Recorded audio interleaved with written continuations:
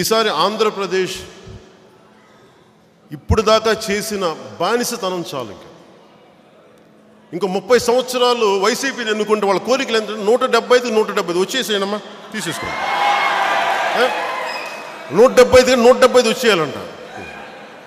మేము ఏం చేయకుండా అలా కూర్చున్నాం నూట డెబ్బై తీసేసుకుని చేతులు ఏళ్ళు పెట్టుకుని కూర్చుంటాం. నోట్లో ఏళ్ళు పెట్టుకొని నూట డెబ్బై ఐదుకి వచ్చి పెద్దలు తీసేసుకోండి మళ్ళీ వచ్చి మా మిగతా గడపలు కూల్చేయండి అని చెప్పచ్చు. ఏం మాట్లాడతారా మీరు? మీకు అద్భుతమైన అవకాశం ఇచ్చాం. నా నన్నంటే ఇష్టపడ్డ నా అభిమానులు కూడా మీకే ఓట్లు వేశారు అదే మీ- మీరు వేయటం వల్లే వాళ్ళు ఎక్కి తొక్కుతున్నారు మన గడపలు కూల్చారు. ఇంకోసారి వేయండి మళ్ళీ ఇంకో మిగతా గడపలు కూలుస్తారు మీకు. చాలు. అద్భుతమైన అవకాశం ఇచ్చాం. నూట యాభై ఒక్క మంది ఎన్టీ రామారావు గారి తర్వాత మళ్ళీ అంత అద్భుతమైన మ్యాండేట్ రాలేదని చెప్తున్నారు.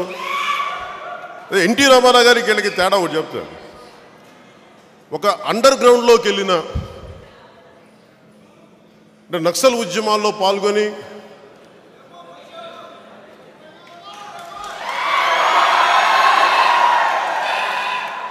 అండర్ గ్రౌండ్లో ప్రజా ఉద్యమాల్లో పాల్గొని ఆయన అండర్ గ్రౌండ్కి వెళ్ళిపోయిన ఒక కళాకారుడు గద్దర్ గారు చెప్పిన విషయం నాకు. ఆయన అన్నది ఏంటంటే ఆయన ఏదో మాట ఇప్పుడు కదా రెండు వేల రెండులో జరిగిన ఒక ఆ- సందర్భంలో ఒకసారి కలిశారు. ఆయన అన్న మాట ఎన్టీ రామారావు గారి గురించి ఆయన అన్నాడు ఊరికి. ఏ ఈయన ఎన్టీ రామారావు గారు ఏం చేస్తారు కూర్చోబెట్టి అది ఇదంటే తెలంగాణలో ఇంటీరియర్ గ్రామాల్లో ఉన్న ప్రజలను ఒక ఒక ఆడపడుచు ఒక పెద్ద ఆవిడ అన్న మాట. మాకు రెండు రూపాయలకి బియ్యం ఇచ్చాడు ఆయన. మేము బియ్యం ఎలా ఉంటుందో తెలియదు మాకు అంటే అది అది నేను చాలాసార్లు తెలంగాణలో మీ జలసాలు చూస్తే పండగ వచ్చి అంటే అన్నం వండినప్పుడే పరమాన్నం వండినప్పుడే పండగ అని తెలుస్తుంది. అంటే ఎప్పుడో పండగ వచ్చిన పబ్బానికి అన్నం వండుకుంటాం తప్ప తెలంగాణలో. అంటే పంటలు పండేది కాదు అక్కడ. కేవలం రాగిను ఇవి డ్రై క్రాప్స్ బతికి. అలాంటిది ఆయన అలా చేశాడు. రెండు రూపాయలకి కిలో బియ్యం ఇచ్చాడని ఆయన అన్న ఆయన అన్న మాటలు ఏంటంటే అప్పుడు మాకు రామారావు గారు ఎంత లోపలికి వెళ్ళిపోయి మాకు అర్థమైందని ఆయన అన్న మాటలు ఒక సందర్భం. ఇలాగా వైసీపీ నాయకుల్లాగా ఇల్లు కూల్చేయాల కళ్ళు లేని వ్యక్తులను కూడా బెదిరించాల వాలంటీర్లను పెట్టి. సో గొప్ప నాయకుడికి మహోన్నతమైన నాయకుడికి కుత్సితపు నాయకుడికి చాలా తేడా ఉంటుంది. మెజారిటీ వచ్చిండొచ్చు కాక సత్తాలో మీరు బలవంతులు కాక కావచ్చు కాక. కానీ అన్నిసార్లు మీరు అలా కంపేర్ చేసుకోకూడదు పెద్ద పెద్ద నాయకులతో ఉదాహరణకి మీరు ఊహించుకోండి వైసీపీ నాయకుల కుటుంబం కానీ వాళ్ళే కనుక స్వాతంత్ర ఉద్యమంలో పాల్గొని ఉంటే మన అదృష్టం పాల్గొలేదు వాళ్ళు. వైసీ వైఎస్ఆర్ కడప జిల్లా అని ఎలా పేరు పెట్టారో వాళ్ళు వైఎస్ఆర్ ఇండియా అని పెట్టేసేవాళ్ళు. వీళ్ళ పథకాలకి ఆ ఆ నాయకుడు ఆయన పేరు ఆయన అన్న పథకం పెద్దన్న పథకం చిన్నన్న పథకం నవ్వుతా. మరి నవ్వులకి అస్సలు లోటు ఉండదు. సమయం సందర్భం లేక నవ్వుతూ ఉంటాడు అనుకో అది వేరే విషయం ఆయన నవ్వు నాలుగు విధాలు చేయటున్నారు ఆయన తెలియదు స్వామికి? అంటే సమయం ఏడుస్తున్నప్పుడు అలాగనమా బాగున్నారా? చచ్చిపోయారా? Okay okay. ఏంటి అస్సులు పోయినాయా? ఎంత పోయినాయి? పది కోట్లు పోయినాయి? Okay okay. గడపలు కూల్చేశారా అలా అనకూడదని తప్పది. నవ్వి గడపలు కూలిపోయినాయమ్మా బాధగా ఉందని చెప్పు. నటించండి కనీసం బాధ లేకపోతే. సో అదృష్టవశాత్తు వీళ్ళెవరు స్వాతంత్ర ఉద్యమంలో పాల్గొనాలి. ఏంటంటే నూట డెబ్బై ఐదు స్థానాలకి నూట డెబ్బై ఐదు మీకు వచ్చేస్తే చూస్తూ కూర్చుంటానా? నోట్లో ఏలేసుకుని అని చెప్పాను అంట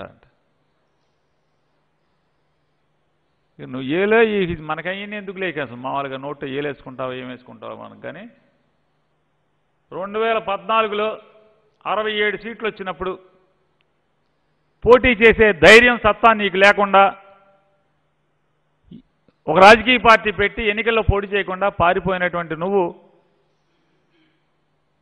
నీకంటే కొన్ని మాసాలు చిన్నవాడైనటువంటి ఒక సంవత్సరమో మాసాలో లేదా రెండేళ్ళలో చిన్నవాడైనటువంటి జగన్మోహన్ రెడ్డి గారు దమ్ముగా నలభై ఏళ్ళ ఇండస్ట్రీ అని చెప్పుకునేటువంటి కుట్రలు కురంత కుతంత్రాలతో నిండినటువంటి ఒక వ్యక్తి మీద పోటీ చేసి అరవై ఏడు సీట్లు ప్రజలిస్తే ఆ రోజు నోట్లో ఏలిపెట్టి చూడలేదా నువ్వు? చూసావు కదా? జగన్మోహన్ రెడ్డిని గెలవనివ్వను. ఇది శాసనం. అని మనం వాగిన రోజు నూట యాభై ఒక్క సీట్లు వచ్చినాయి. అప్పుడు నోట్లో ఏలెచ్చి చూశాం కదా. రొ- అరవై ఏడు సీట్లు వచ్చినప్పుడు ఎట్లా నోట్లో ఏలు పెట్టుకుని చూసావు నూట యాభై ఒక్క సీట్లు వచ్చినప్పుడు నోట్లో ఏలు పెట్టుకుని ఎట్లా చూసావో రేపు నూట డెబ్బై ఐదు వచ్చినప్పుడు కూడా అదే చూసే పరిస్థితి ఉండదు కొత్త ఏమి ఉండదు. రెండు వేల పంతొమ్మిదిలో అత్యధిక మెజార్టీతో ప్రజలు బాధ్యతలను అప్పచెప్తే జగన్మోహన్ రెడ్డి గారు నూట డెబ్భై ఐదు మంది పోటీ చేస్తే నూట యాభై ఒక్క మంది ఎమ్మెల్యేల ప్రజలు గెలిపిస్తే ఆ నూట యాభై ఒక్క మంది అంటే తనతో కలిపి కూర్చోబెట్టి అందరికీ చెప్పింది ఒకటే. ఎమ్మెల్యేలారా ప్రజలు మనకి బాధ్యత అప్పచెప్పింది. అధికారం అనుకోబాకండి. ఇది అధికారం కాదు. సేవాభావం మాత్రమే మీలో ఉండాలి. సేవా దృక్పథం ఉండాలి. అధికారం కాదు సేవ అనేది మీరు గుర్తుపెట్టుకోండి ప్రజలు మనకి ఇచ్చిందని చెప్పని ఆయన ఓనమాలు అప్పుడే చెప్పాడు రెండు వేల పంతొమ్మిదిలో. కనీసం ఆ పార్టీ జ్ఞానం మనకు లేకపోతే ఎట్లా పవన్ కళ్యాణ్ గారు? రెండు వేల ఇరవై నాలుగు ఎన్నికలు కీలక ఎన్నికలు అంట ఎప్పటికప్పుడు కీలకమే. రెండు వేల తొమ్మిది కీలకం రెండు వేల పద్నాలుగు కీలకం రెండు వేల పంతొమ్మిది కీలకం రెండు వేల ఇరవై నాలుగు కీలకం రెండు వేల ఇరవై తొమ్మిది కీలకం. ఏ రోటికాడ ఆ పాట పాడటం అలవాటుపై ఎన్నికలు ఎన్నికలకి స్లోగన్ ఏదో ఇదే స్లోగన్. జగన్ గెలవనేవను జగన్ గెలవనేవను నువ్వెవరో గెలిపి గెలిపిస్తాకి గెలవనివ్వపోతాకి ప్రజల గుండెల్లో ఎవరికి స్థానం ఉంటే జగన్ స్థానం ఉంటే జగన్కి ఇస్తారు.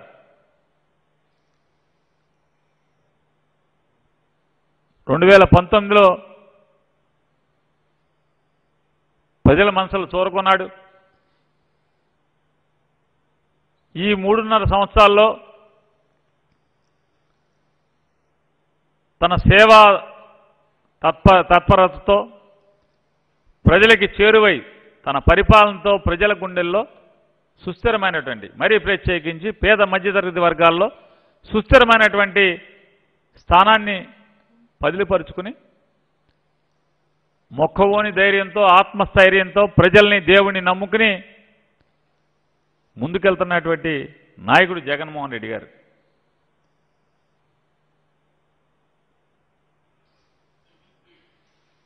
మళ్ళీ అంటాడు రెండు వేల పద్నాలుగు నుంచి వివిధ సందర్భాల్లో చాలాసార్లు మూడు నాలుగు సార్లు మోడీ గారిని కలిశానంటాడు. మోడీ గారిని కలిసి బయటకు వచ్చి ఏం చెప్తా? ఓటర్లోకి వచ్చి రెండు వేల పంతొమ్మిది రెండు వేల పద్నాలుగు తర్వాత ఎనిమిదేళ్ళు అయింది నేను మోడీని కలిసి. ఇంతవరకు ఎప్పుడూ కలవలేదు. ప్రధానమంత్రి కార్యాలయం నుంచి పవనా పవనా రా డే విశాఖపట్నం రా మోడీ గారు పిలుస్తాడు పిలిచాడు అందుకు వచ్చానని చెప్పి చెప్పారు. ఏది నిజం?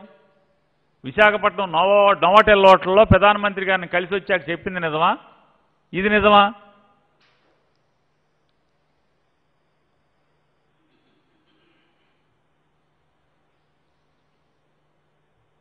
ఇక భగవంతుడికి తెలియాలి ఇక అసలు ఈ ఇంత ఇన్ని నోరు తెరిస్తే అసత్యాలు మాట్లాడే వ్యక్తిని ఏ గురించి ఏం మాట్లాడతాం? అంటే పెదానితో నేనేం మాట్లాడాలో సజ్జలకు కావాలంటే దా పక్కకు రా చెవులో చెప్తా అంట. మాకెదికే నువ్వు నువ్వు అతను ఏం మాట్లాడుకుంటే ప్రధానమంత్రి డొల్లాడండి వాటేసుకోండి తన్నుకోండి తిట్టుకోండి. ఎవరికేం అవసరం?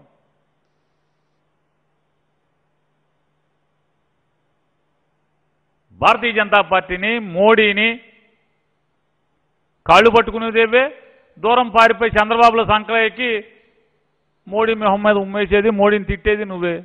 మేము ఎప్పుడు మర్యాదగానే ఉన్నాం మోడీ గారితో. జగన్మోహన్ రెడ్డి గారు ఎప్పుడు కూడా మోడీ గారు అంటే మర్యాదగా ఉన్నాడు. అదే మర్యాద పాటిస్తాడు. పోరాటం భారతీయ జనతా పార్టీతో పోరాటం చేస్తూనే ఉంటాం. ఈ భారతదేశానికి ప్రధానమంత్రి కాబట్టి స్వర్గీయ రాజశేఖర రెడ్డి గారికి స్నేహితుడు కాబట్టి ఆ మర్యాద మర్యాదే ఉంటుంది. భారతీయ జనతా పార్టీతో పోరాటం పోరాటమే.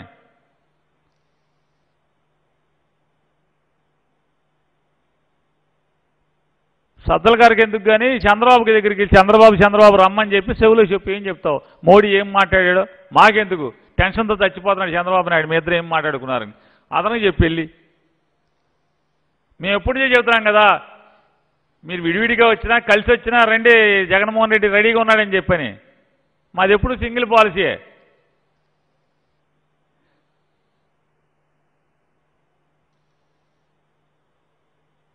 చచ్చిపోతున్నాడు అక్కడ మామూలుగా టెన్షన్తో. వెళ్ళి పిలిచి చెవులో చెప్పు చంద్రబాబుకి.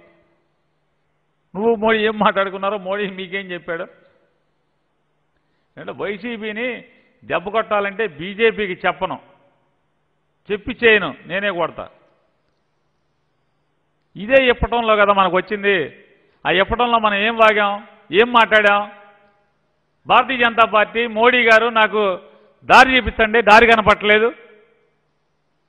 కానీ చంద్రబాబు అనే టార్చ్ లైట్ వేసుకెళ్దాం మనం ఈ చీకట్లో అని చెప్పేది. మాట్లాడింది ఎవరు అడుక్కున్నది ఎవరు? బీజేపీని అడుక్కోవటం ఎందుకు? ఒక రాజకీయ పార్టీ పెట్టి ఆ రాజకీయ పార్టీ నాయకుడు ఎవడైనా దాని అధ్యక్షుడు నాకు రాజకీయ పందా చూపించండి అని చెప్పి ఎవడు నన్ను అడుక్కుంటాడా? అసలు మన ప్రపంచంలో అసలు ఎన్ని మామూలుగా మ్యూజియంలో పెట్టాల్సినటువంటి పద్ధతులు మన అన్నీ ఎన్నికల కమిషన్లో అసలు మ్యూజియంలో పెట్టాల్సింది ఎవడన్నా?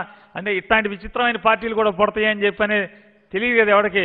ఏమన్నా కొత్తగా పార్టీ పెట్టేకి వెళ్తే అదే ఎలా రాజకీయ ప్రజాస్వామ్యం గురించి ఎవరన్నా చూడాలంటే ఎన్నికల కమిషన్లో మనం ఎన్ని మ్యూజియంలో పెడితే పోద్ది? మన మాటలు మన వీడియోలు మన తంతు